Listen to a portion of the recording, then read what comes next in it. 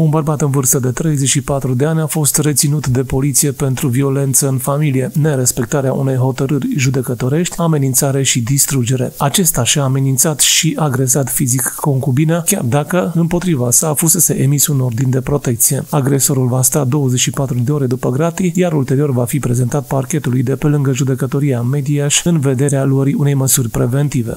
Polițiștii secției de poliție rurală Media și-au reținut un bărbat în vârstă de 34 de ani, domiciliat în localitatea Bazna, cercetat penal sub aspectul săvârșirii infracțiunilor de violență în familie, nerespectarea unei hotărâri judecătorești, amenințare și distrugere. În fapt, în zilele de 15 și 16 martie, bărbatul, împotriva căruia este emis un ordin de protecție, ar fi amenințat-o cu acte de violență, ar fi agresat-o fizic pe concubina sa și ar fi distrus un telefon mobil. Odată cu administrarea probatoriului în cauză, polițiștii au luat măsura reținerii bărbatului pentru 24 de ore, urmând a fi prezentat unității de parchet competente pentru a dispune în consecință. Cercetările sunt continuate la nivelul secției de poliție rurală Mediaș, sub supravegherea parchetului de pe lângă judecătoria Mediaș.